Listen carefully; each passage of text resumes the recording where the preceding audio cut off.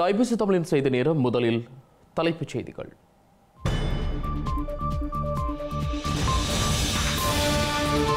ஸ்ரீலங்கா வான்படை களத்தில் யாழ் கொண்டு செல்லப்படும் இரா சம்பந்தன் உடல் இறுதி நிகழ்வு திட்டமிடல்களில் புறக்கணிப்பு என தமிழரசின் மூத்த தலைவர்கள் கவலை.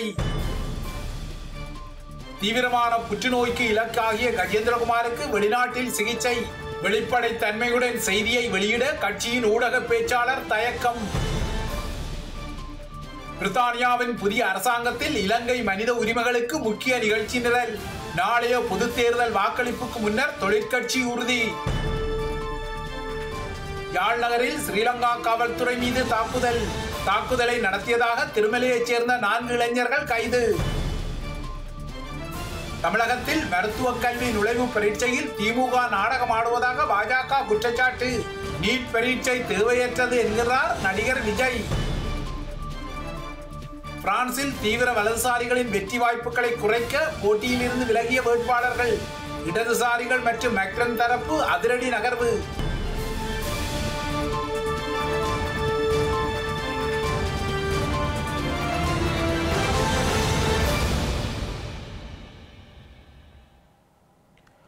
தொடர்பது விரிவான செய்திகள். இலங்கை தமிழரசு கட்சியின் மூத்த தலைவரும் நாடாளுமன்ற உறுப்பினருமான இரா சம்பந்தனின் உடல் கொழும்பிலிருந்து யாழ்ப்பாணத்திற்கு நாளை காலை வான்மார்க்கமாக கொண்டு செல்லப்பட்டு அஞ்சலிக்கு வைக்கப்பட உள்ளதாக அறிவிக்கப்பட்டுள்ளது. அவரது உடலை யாழ்ப்பாணத்திற்கு கொண்டு செல்வதற்கும் அங்கிருந்து திருகோணமலைக்கு கொண்டு செல்வதற்கும் ஸ்ரீலங்கா வான்படை விமானம் பயன்படுத்தப்பட உள்ளதாக தெரிகின்றது. இந்த நிலையில் இரா சம்பந்தனின் இறுதி நிகழ்வு திட்டமிடல்களில் கட்சியின் மூத்த தலைவர்களை ஒதுக்கும் செயற்பாடுகள் இடம்பெறுகின்றமை தொடர்பாக இரா சம்பந்தனுடன் நீண்ட காலமாக அரசியல் ரீதியில் பயணித்து வரும் மூத்த தலைவர் ஒருவர் ஐபிசி தமிழுக்கு தனது ஆதங்கத்தை வெளியிட்டுள்ளார். யாழ்ப்பாணத்திற்கு ரா சாமந்தனின் உடல் அஞ்சலிக்காக எடுத்து செல்லப்படுகின்றமை தொடர்பான விடயமும். கட்சியின் மூத்த தலைவர்கள் மட்டத்தில் கலந்துரையாடப்படவில்லை எனவும் தெரிவிக்கப்பட்டுள்ளது. இந்த செயற்பாடுகளின் பின்னணியில் இலங்கை தமிழரசு கட்சியின் தலைமைத்துவத்தை கைப்பற்றும் இலக்குடன் செயற்படும் சட்டத்தரணியும் நாடாளுமன்ற உறுப்பினருமான எம் ஏ சுமந்திரன் இருக்கலாம் என்ற ஊகங்களை அரசியல் ஆய்வாளர்கள் முன்வைத்து வருகின்றனர். ஜனாதிபதி தேர்தல் நெருங்கும் நிலையில் இவ்வாறான எதிர்ச்சதிகார போக்கு தமிழரசு கட்சியின் எதிர்காலத்தை கேள்விக்குறியாக்கும் என அவர்கள் சுட்டிக்காட்டியுள்ளனர். ஏற்கனவே கட்சியின் தலைமைத்துவ பதவி தொடர்பாக சிவஞானம் ஸ்ரீதரன் மற்றும் எம் ஏ சுமந்திரன் அணிகளாக இலங்கை தமிழரசு கட்சி பிளவுபட்டு நீதிமன்ற வழக்குகள் வரை சென்றுள்ளமை கட்சி ஆதரவாளர்கள் மத்தியில் கவலையை ஏற்படுத்தியுள்ளது. இவ்வாறான பின்னணியில் ரா. சமந்தனின் மறைவு மற்றும் அதன் பின்னரான நிகழ்வுகள் இலங்கை தமிழரசு கட்சிக்குள் மேலும் பிளவு நிலையை உருவாக்கும் நிலைக்கு வித்திடும் என கரிசனை முன்வைக்கப்பட்டுள்ளது. இதனிடையே இலங்கை தமிழரசு கட்சியின் மூத்த தலைவர் ராஜவரோதயம் சமந்தனது. போத உடல் நாளை ஸ்ரீலங்கா ராணுவ விமானத்தில் ஜாழ்ப்பாணத்திற்கு கொண்டு செல்லப்படவுள்ளது. ஜாழ்ப்பாணத்தில் தந்தை செல்வா கலையரங்கில் நாளை காலை முதல் அஞ்சலிக்காக வைக்கப்படவுள்ளது. காலை பத்து மணி முதல் மாலை நான்கு மணி வரை மறைந்த சம்பந்தனின் பூத உடலுக்கு அஞ்சலி செலுத்த முடியும் என கட்சியினர் அறிவித்துள்ளனர்.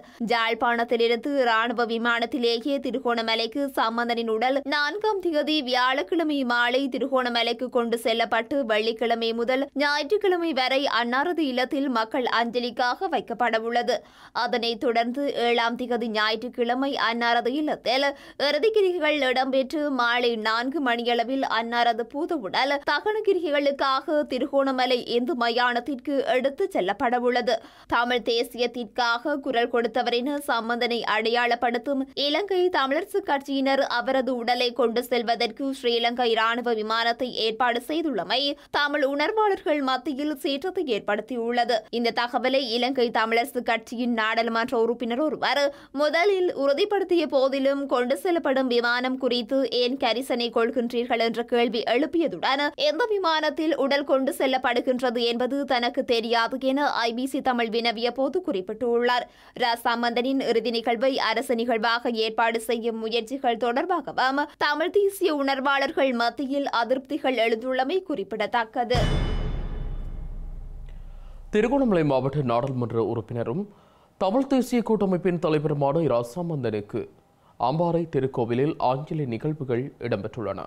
குறித்த கூட்டத்தில் மாவட்ட பிரதேச தமிழ் தேசிய கூட்டமைப்பின் நிர்வாகிகள் சிரேஷ்ட கட்சி தொண்டர்கள் ஆதரவாளர்கள் பொதுமக்கள் என பலரும் கலந்து கொண்டு அஞ்சலி செலுத்தியிருந்தனர்.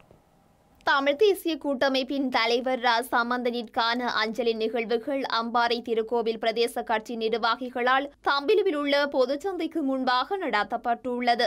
அம்பாறை மாவட்ட நாடாளுமன்ற உறுப்பினர் தவராசா கலையரசனின் வழிநடத்தலில் நாடாளுமன்ற உறுப்பினரின் பிரத்யோக செயலாளர் எம். கண்ணதாசனின் ஒழுங்கமைப்பில் குறித்த அஞ்சலி கூட்டம் இடம்பெற்றுள்ளது. அஞ்சலி கூட்டத்தின் போது ரா. சம்பந்தனின் திருவுருவ படத்திற்கு மலர் தூவி மலர் மாலை அணிவிக்கப்பட்டதுடன் சுடரேற்றி அஞ்சலியும் செலுத்தப்பட்டது. குறித்த கூட்டத்தில் மாவட்ட பிரதேச தமிழ் தேசிய கூட்டமைப்பின் நிர்வாகிகள் சிரேஷ்ட கட்சி தொண்டர்கள் ஆதரவாளர்கள் பொதுமக்கள் என பலரும் கலந்து கொண்டு அஞ்சலி செலுத்தியிருந்தனர். அத்துடன் ரா சம்பந்தனின் இறுதிக்கிரியைகள் திருகோணமலையில் உள்ள அவரது இல்லத்தில் இடம்பெறவுள்ள நிலையில் அதற்கான ஏற்பாடுகள் இடம்பெற்று வருகின்றன. அத்துடன் அவருக்கான அஞ்சலி நிகழ்வுகளும் இடம்பெற்று வருகின்றது. இதேவேளை இலங்கை தமிழரசு கட்சியின் மூத்த தலைவர் இரா சம்பந்தனின் பூத உடல் ஸ்ரீலங்கா நாடாளுமன்றத்தில் இன்று காலை அஞ்சலிக்காக வைக்கப்பட்டிருந்தது. இதன்போது முன்னாள் ஜனாதிபதி மஹிந்த ராஜபக்ஷ உள்ளிட்ட நாடாளுமன்ற உறுப்பினர்கள் மற்றும் ஊழியர்கள் அஞ்சலி செலுத்தியிருந்தனர். இலங்கை அரசியல் வரலாற்றில் மூத்த அரசியல்வாதியும் முன்னாள் தமிழ் எதிர்க்கட்சி தலைவரும் தமிழ் தேசிய கூட்டமைப்பின் தலைவரும் திருகோணமலை மாவட்டத்தின் முன்னாள் பாராளுமன்ற உறுப்பினருமான அமரர் இரா சம்பந்தன் ஐயா அவர்களுடைய பூத உடலானது பொருளை தனியார் மலர் சாலையிலிருந்து இன்று பிற்பகல் இரண்டு மணிக்கு இலங்கை ஜனநாயக சோசியலிச குடியரசின் நாடாளுமன்றத்திற்கு இன்று கொண்டு வரப்பட்டது. இன்று பிற்பகல் இரண்டு மணிக்கு கொண்டு வரப்பட்ட அமரர் இரா சம்பந்தன் ஐயா அவர்களுடைய பூத உடலை பிரதமர் தினேஷ் குணவர்த்தன உட்பட சபாநாயகர் மஹிந்த யாப்பா விவர்த்தன் உட்பட முக்கியஸ்தர்கள் பொறுப்பேற்று இந்த இடத்திற்கு கொண்டு வந்தார்கள். அதனை அடுத்து சபாநாயகர் மஹிந்த யாப்பா விவர்த்தன முன்னாள் ஜனாதிபதி மஹிந்த ராஜபக்ஷ எதிர்க்கட்சி ஆளும் கட்சி முக்கியஸ்தர்கள் அனைவரும் ஒன்று சேர்ந்து அமரர் இரா சம்பந்தன் ஐயா அவர்களுடைய பூத உடலுக்கு இறுதி அஞ்சலிகளை செலுத்தினார்கள். அதையடுத்து இரங்கல் செய்திகளையும் பதிவேற்றினார்கள். தற்பொழுது முக்கியஸ்தர்கள் குறிப்பாக உயர் ஸ்தானிகர்கள் இலங்கையின் முக்கிய ஆளுநர்கள் ஏனைய பாராளுமன்ற உறுப்பினர்கள் பாராளுமன்றத்தோடு தொடர்புடைய உத்தியோகஸ்தர்கள் உயர் அதிகாரிகள் என அனைவரும் ஒன்று சேர்ந்து இப்பொழுது இறுதி அஞ்சலிகளை செலுத்தி வருகின்றார்கள். செய்திகளுக்காக இலங்கை பாராளுமன்ற வளாகத்திலிருந்து ஒலிப்பதிவாளர் விஜயுடன் நான் டில்ஷான் வின்சன். தமிழ் தேசிய மக்கள் முன்னணியின் தலைவரும் நாடாளுமன்ற உறுப்பினருமான கஜேந்திரகுமார் பொன்னம்பலத்திற்கு கடுமையான புற்றுநோய் ஏற்பட்டுள்ளதாக செய்திகள் வெளிவந்துள்ள நிலையில் அதனை உறுதிப்படுத்தும் வகையில் அவருக்கு ஸ்ரீலங்கா நாடாளுமன்றத்தில் மூன்று மாத கால விடுமுறை வழங்கப்பட்டுள்ளது. ஆஸ்திரேலியாவில் மருத்துவ சிகிச்சை பெற்று வரும் கஜேந்திரகுமார் உடல் நிலையில் பெரும் முன்னேற்றம் ஏற்படவில்லை என தென்னிலங்கை ஊடகம் ஒன்று செய்தி வெளியிட்டுள்ள நிலையில். இந்த விடயம் குறித்து இன்று தமிழ் தேசிய மக்கள் முன்னணியின் ஊடக பேச்சாளர் சுகாசிடம் ஐபிசி தமிழின் செய்தி பிரிவு வினவியிருந்தது.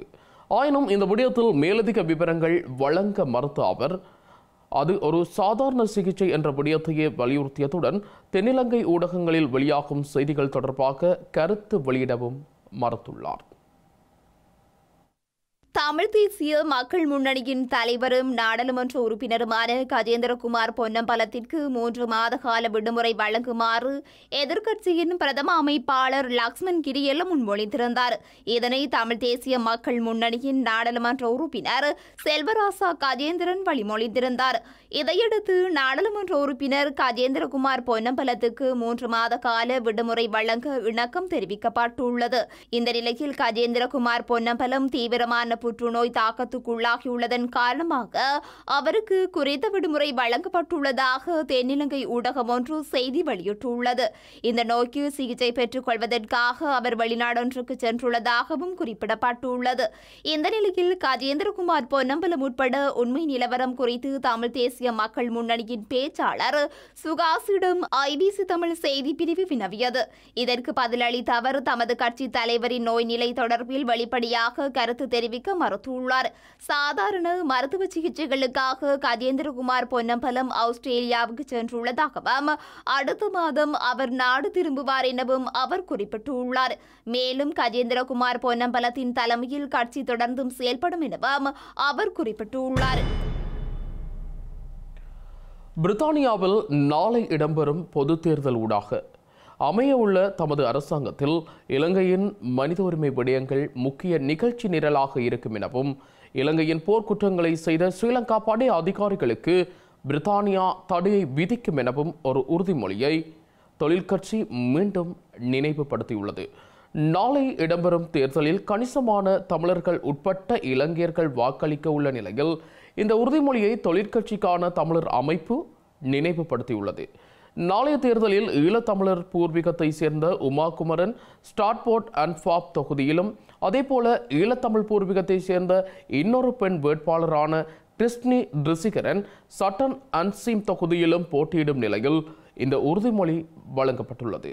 இதேவேளை அண்மையில் வெளியிடப்பட்டுள்ள காணொளியில் பிரித்தானிய நிழல் வெளிவிவகார அமைச்சரான மன்னிக்கவும் பிரித்தானிய வெளிவிவகார அமைச்சராக பொறுப்பேற்க உள்ள டேவிட் லாமி உறுதிமொழிகளை வழங்கியிருந்தார் இலங்கையில் இடம்பெற்ற போர்க்குற்றங்களுடன் தொடர்புடைய குற்றவாளிகளுக்கு எதிராக தடைகள் விதிக்கப்பட வேண்டும் என பிரித்தானிய வெளியுறவுத்துறை பொதுநலவாய மற்றும் வளர்ச்சி விவகாரங்களுக்கான நிழற்சியலாளர் லேவிட் லாமி வலியுறுத்தியுள்ளார். சர்வதேசம் பன்முகத்தன்மை மற்றும் சட்டத்தின் ஆட்சி மீது தான் அதிக நம்பிக்கை கொண்டிருப்பதாகவும் இதன் அடிப்படையில் அப்பாவி மக்களுக்கு எதிராக குற்றமிழைத்தவர்கள் பொறுப்பு கூறப்பட வேண்டும் எனவும் அவர் குறிப்பிட்டுள்ளார். சிறுபான்மை சமூகத்தின் சக உறுப்பினராக இலங்கையில் இடம்பெற்ற போரில் உயிரிழந்த தமிழர்களுக்கு தான் அஞ்சலி செலுத்துவதாக டேவிட் லாமி கூறியுள்ளார். இதேபோல பிரித்தானிய நிழல் மருத்துவ மற்றும் சமூகத்துறை ராஜாங்க அமைச்சர் வெஸ்னி ஸ்ரீட்ரிங் தெரிவித்த தேர்தல் உறுதிமொழிகளாக இவை காணப்படுகின்றன.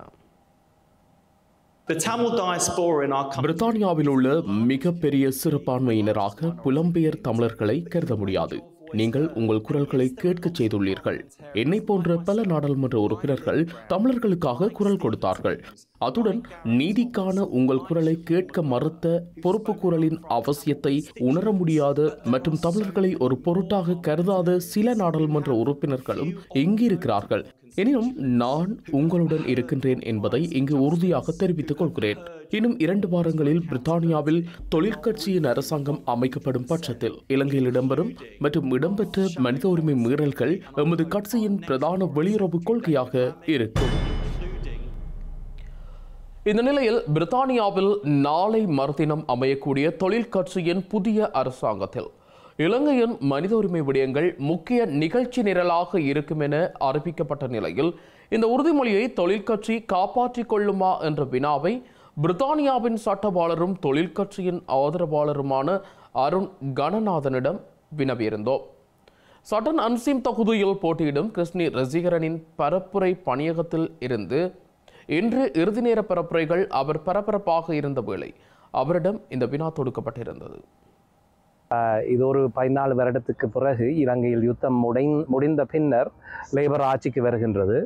அந்த அடிப்படையில் வந்து இந்த அரசியல் மாற்றம் என்றது மிக முக்கியமானது.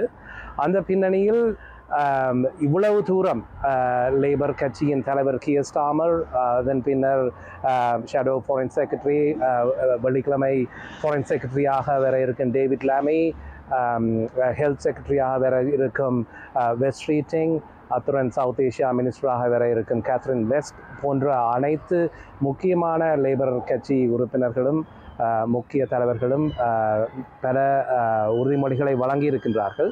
அந்த பின்னணியில் வந்து லேபர் கட்சி தனது அந்த வாக்குறுதிகளை காப்பாற்றும் என்று நம்புகின்றேன். அந்த வகையில் நீங்கள் நிச்சயமாக நாளை நடக்க இருக்கும் பொதுத் தேர்தலில் லேபர் கட்சிக்கு உங்களுடைய பலத்த ஆதரவை தெரிவிக்க வேண்டும். சட்டநன்சியின் பகுதியில் இருப்பவர்கள் அஹ், கிருஷ்ணி ருசிகரன் அவர்களுக்கு வெளியில் வந்து அமோக ஆதரவை கொடுக்க வேண்டும் என்று வேண்டுகின்றேன். ஸ்ரீலங்கா ஜனாதிபதி ரணில் விக்ரமசிங்கவின் பதவிக்காலம் தொடர்பில் அரசியலமைப்பின் பிரகாரம் விளக்கம் அளிக்குமாறு கோரி உயர்நீதிமன்றத்தில் மனு ஒன்று தாக்கல் செய்யப்பட்டுள்ள நிலையில் ஜனாதிபதியும் அவரது சகாக்களும் அரசியல் அமைப்பையும் மீறி ஜனாதிபதி தேர்தலை ஒத்திவைக்க முயற்சித்து வருவதாக ஸ்ரீலங்கா எதிர்க்கட்சித் தலைவர் சஜித் பிரேமதாஸ் தெரிவித்துள்ளார். ஸ்ரீலங்கா ஜனாதிபதி தேர்தலை நடத்துவதற்கு இடையூறு விளைவிக்கும் அரசாங்கத்தின் சதி நடவடிக்கைகளுக்கு எதிர்ப்பு தெரிவித்து மட்டக்களப்பில் இன்று விசேட அறிக்கை ஒன்றை விடுக்கும் போதே எதிர்க்கட்சித் தலைவர் இவ்வாறு தெரிவித்துள்ளார். கடந்த காலங்களில் ஜனாதிபதியையும் அரசாங்கத்தையும் பிரதிநிதித்துவப்படுத்தும் அடிமைகளும் கையாட்களும் சகாக்களும் நாட்டிற்கு எதிர்மறையான செய்திகளை முன்வைத்து ஜனாதிபதி தேர்தலை நடத்துவது பொருத்தமற்றது என்ற கருத்தை உருவாக்கி வந்தனர் பல சந்தர்ப்பங்களில் ஜனாதிபதி தேர்தலை நடத்துவதற்கு இது சரியான தருணம் அல்ல என மக்களை நம்ப வைக்கும் வகையில் அரசியல் சீர்திட்டம் ஒன்றை முன்னெடுக்க ஜனாதிபதியும் அவருக்கு நெருக்கமான குழுக்களும் முயற்சித்திருந்தன இவ்வாறான நிலையில் இன்று சட்ட ரீதியாகவும் அரசியலமைப்பு ரீதியாகவும் நடத்தப்பட வேண்டிய ஜனாதிபதி தேர்தலை பறிக்க மேலும் பல முயற்சிகள் முன்னெடுக்கப்பட்டுள்ளன. இவை அனைத்தும் அரசியலமைப்பை மீறும் சதிகளாகும். செப்டம்பர் பதினேழாம் தேதி முதல் அக்டோபர் பதினாறாம் தேதி வரையிலான காலப்பகுதியில் ஜனாதிபதி தேர்தலை நடத்த வேண்டும் என்று அரசியலமைப்பு தெளிவாக கூறினாலும் அரசியலமைப்பு ரீதியாக புதிய ஜனாதிபதியை தெரிவு செய்யும் நாட்டு மக்களுக்கு இருக்கும் உரிமையை இல்லாதொழித்து சீர்குலைக்க சில குழுக்கள் செயற்பட்டு வருகின்றன. இந்த நாட்டில் சர்வஜன வாக்குரிமையும் மக்களின் வாக்குரிமையும் பாதுகாக்கப்பட வேண்டும். இந்த நாட்டு மக்களுக்கு ஜனாதிபதி ஒருவரை தெரிவு செய்வதற்கான சந்தர்ப்பம் வழங்கப்பட வேண்டும். மாளிகைக்குள் இருந்து கொண்டு மானங்கட்ட செயல்கள் மூலம் ஜனாதிபதி தேர்தலை நடத்தாமல் இருப்பதற்கான பின்னணி தயார்படுத்தப்பட்டு கொண்டிருக்கும் வேளையில் இந்த நாட்டில் ஜனநாயகத்தின் மரணத்தை முன்னெடுக்க வேண்டாம் என பொறுப்புள்ள அதிகாரிகளிடம் கேட்டுக்கொள்கிறேன். தேர்தல் உரிமையை உடனடியாக மக்களுக்கு வழங்குமாறும் கோரிக்கை விடுக்கிறேன். இதேபோல இலங்கையில் ஐக்கிய மக்கள் சக்தியின் ஆட்சியின் போது சாதாரண மக்கள் ஆயுதங்களை பயன்படுத்துவதற்கு தடை விதிக்கப்படும் என மட்டக்களப்பில் வைத்து சஜித் பிரேமதாஸ் கூறியுள்ளார்.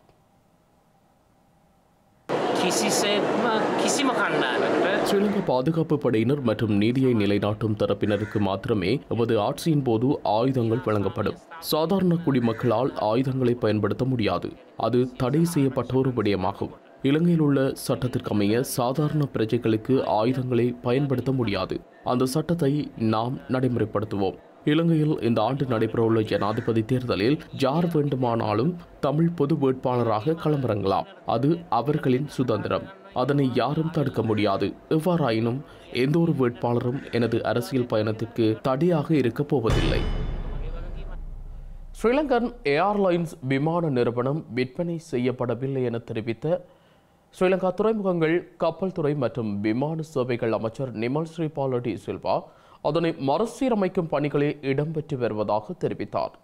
சட்ட ரீதியில் கூட ஸ்ரீலங்கன் ஏர்லைன்ஸின் நாற்பத்தி ஒன்பது வீதமான பங்குகளை மட்டுமே வேறொரு நிறுவனத்திற்கு வழங்க முடியும் என கூறியுள்ள அவர் சர்வதேச ரீதியாக அந்த பங்குகளை கொள்வனவு செய்வதற்கு யாரும் ஆர்வம் காட்டவில்லை என ஜனாதிபதி ஊடக மையத்தில் இன்று இடம்பெற்ற ஊடக சந்திப்பில் அவர் சுட்டிக்காட்டினார்.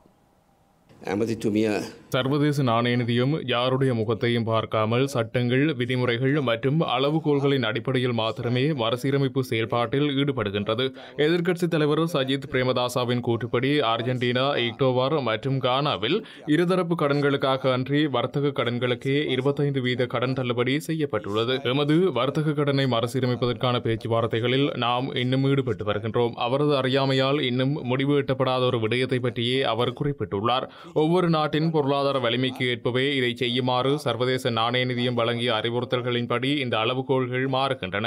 இவ்வாறாக சர்வதேச ரீதியில் ஏற்றுக்கொள்ளப்பட்ட சூழ்நிலைகளை கருத்தில் கொள்ளாமல் குறுகிய அரசியல் நோக்கங்களுக்காக செயற்படுவது ஏற்புடையதல்ல என்பதை கூற வேண்டும். இந்த வருட வரவு செலவு திட்டத்தில் மாகாண சபைகள் பிரதேச சபைகள் அரசு திணைக்களங்கள் மற்றும் நலன்புரி போன்ற சமூக பாதுகாப்பு நலன்களுக்காக நிதி ஒதுக்கப்பட்டுள்ளது.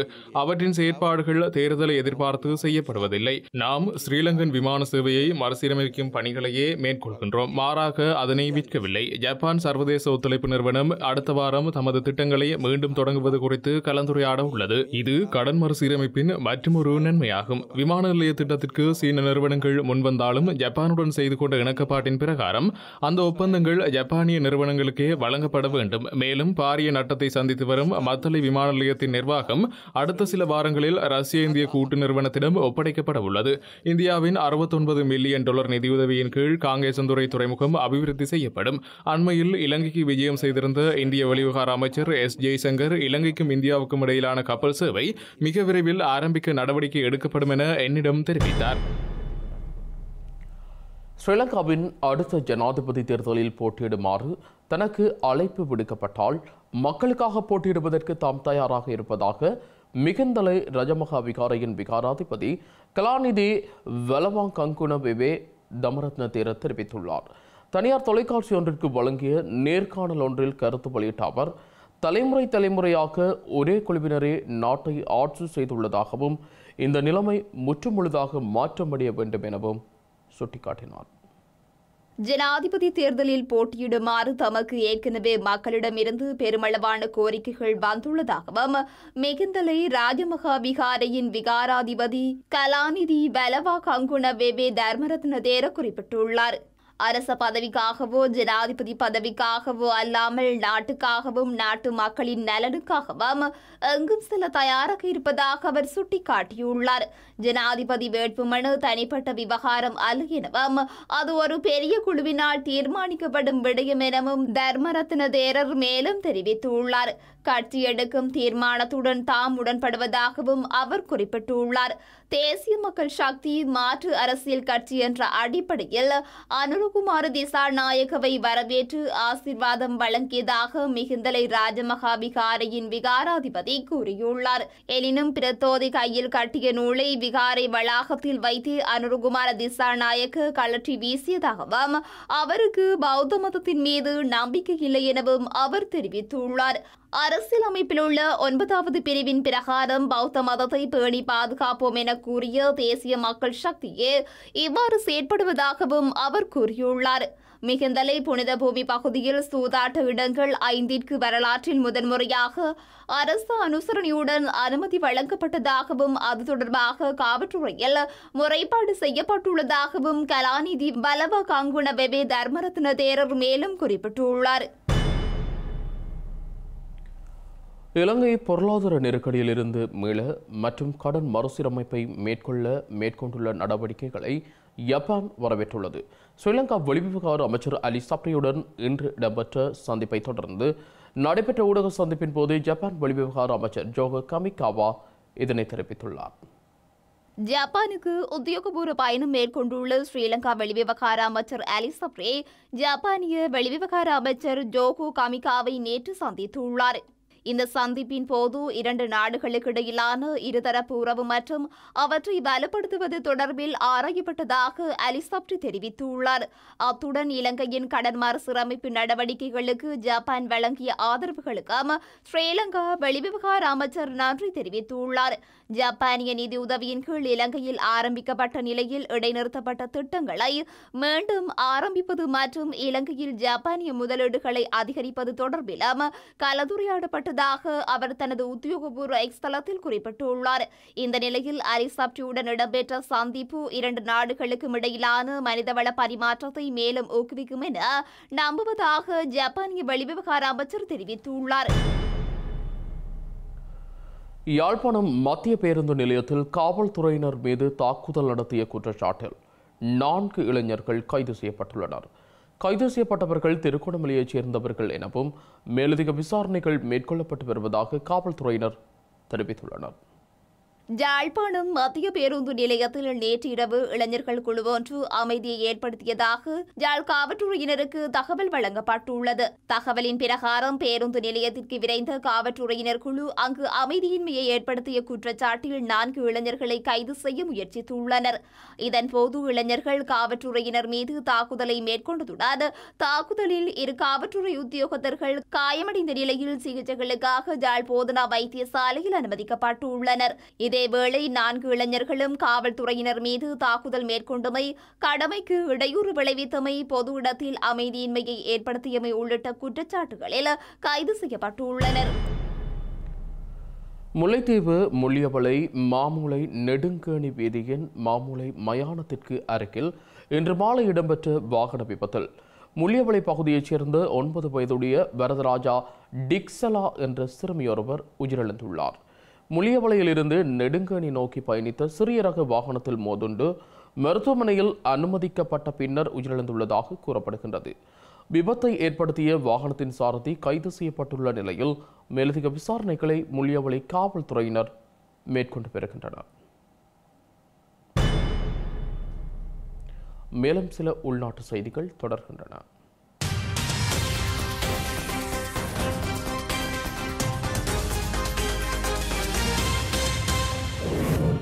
ஜாழ்ப்பாணம் குறிகட்டுவானிலிருந்து நைனாதீவிற்கு பொருட்களை ஏற்றிச் சென்ற படகொன்று கவிழ்ந்து விபத்துக்குள்ளானதில் ஒருவர் உயிரிழந்துள்ளார்.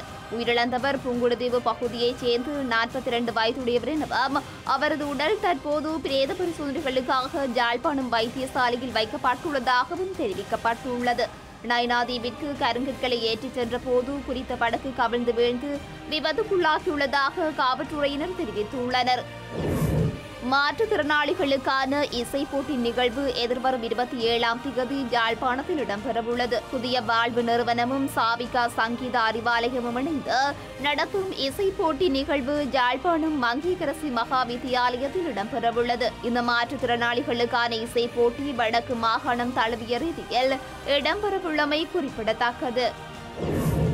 மன்னார் மாவட்டத்தின் அடுமன் கண்ணாதிட்டி கிராமத்தில் வசித்து வரும் விசேட தேவையுடைய திறமை மிக்க மாணவியொருவர் என குடும்பத்தினருக்கு வாழ்வாதார உதவி திட்டத்திற்கான நிதி உதவி இன்றைய தினம் வன்னிமண் அறக்கட்டளையினரால் வழங்கி வைக்கப்பட்டுள்ளது. அத்துடன் குறித்த சிறுமியின் கல்வி நடவடிக்கையை இலகுபடுத்தவும் கல்லூரி செயற்பாடுகளை சிரமமின்றி மேற்கொள்வதற்கான நடவடிக்கையும் குறித்த நிறுவனத்தினால் நடைமுறைப்படுத்தப்படவுள்ளதாக தெரிவிக்கப்பட்டுள்ளது. நுவரேலியா பொகவந்தலாவ கெர்கஸ் போல்ட் மேல்பிரிவு தோட்ட பகுதியில் தொழிலில் ஈடுபட்டுக் கொண்டிருந்த எட்டு ஆண் தொழிலாளர்கள் குளவிக்கொட்டு கிழக்காகியுள்ளனர். இந்த நிலையில் எட்டு ஆண் தொழிலாளர்களும் சிகிச்சைகளுக்காக வைத்தியசாலையில் அனுமதிக்கப்பட்ட பின்னர் வீடு திரும்பியுள்ளதாக தெரிவிக்கப்படுகின்றது. குறித்த தேயிலை தோட்ட பகுதியில் மரம் ஒன்றில் இருந்த குளவி கூட்டை பறந்து ஒன்று கலைத்ததன் காரணமாக இந்த குளவி கொட்டியுள்ளதாக தொழிலாளர்கள் தெரிவித்துள்ளனர்.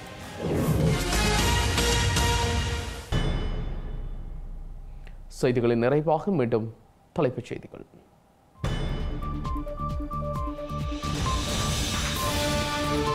ஸ்ரீலங்கா வான்படை களத்தில் யாழ் கொண்டு செல்லப்படும் இரா சம்பந்தன் உடல் இறுதி நிகழ்வு திட்டமிடல்களில் புறக்கணிப்பு என தமிழரசின் மூத்த தலைவர்கள் கவலை.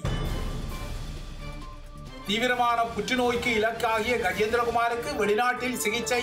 வெளிப்படை தன்மையுடன் செய்தியை வெளியிட கட்சியின் ஊடக பேச்சாளர் தயக்கம். பிரித்தானியாவின் புதிய அரசாங்கத்தில் இலங்கை மனித உரிமைகளுக்கு முக்கிய நிகழ்ச்சி நிரல். நாளைய பொது தேர்தல் வாக்களிப்புக்கு முன்னர் தொழிற்கட்சி உறுதி. யாழ் நகரில் ஸ்ரீலங்கா காவல்துறை மீது தாக்குதல். தாக்குதலை நடத்தியதாக திருமலையைச் சேர்ந்த நான்கு இளைஞர்கள் கைது. தமிழகத்தில் மருத்துவக் கல்வி நுழைவு பரீட்சையில் திமுக நாடகம் ஆடுவதாக பாஜக குற்றச்சாட்டு.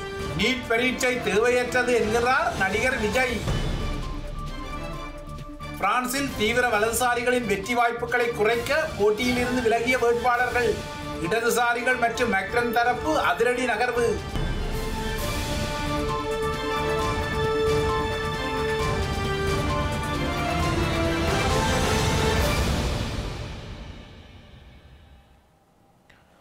இத்துடன் ஐபிசி தமிழின் செய்தி நேரம் நிறைவடைகின்றது. உடனுக்குடன் செய்திகளை அறிந்து கொள்ள ஐபிசி தமிழ் டாட் காம் என்ற நமது இணையதளத்தை பார்வையிடுங்கள். வணக்கம்.